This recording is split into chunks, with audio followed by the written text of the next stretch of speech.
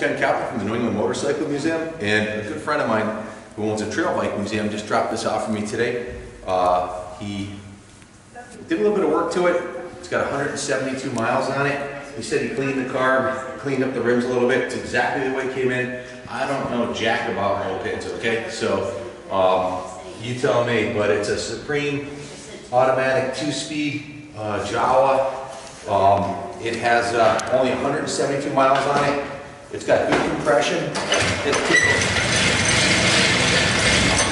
sounds like it wants to run to me, but uh, we got about a six-month backlog on restoration, so we're not going to work on it. We're going to sell it as is.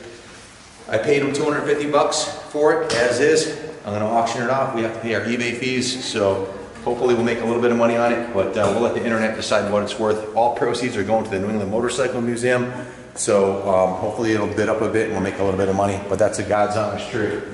Um, There's a little tag here on the front, manufactured by Jawa Motors in Czechoslovakia. I believe that's a company that made CD, CZs. It's a 1998, January of 98. This vehicle conforms to all applicable federal motor vehicle standards, it says here. And I have the VIN number on this side. It's 219JK 217776. Okay, it starts off with TLJ 210 as the model number. So you got a 1988, 98, 2008, it's a 30 year old Jawa moped with 176 miles on it. Original Barum tires, chrome's in great shape, paint is presentable.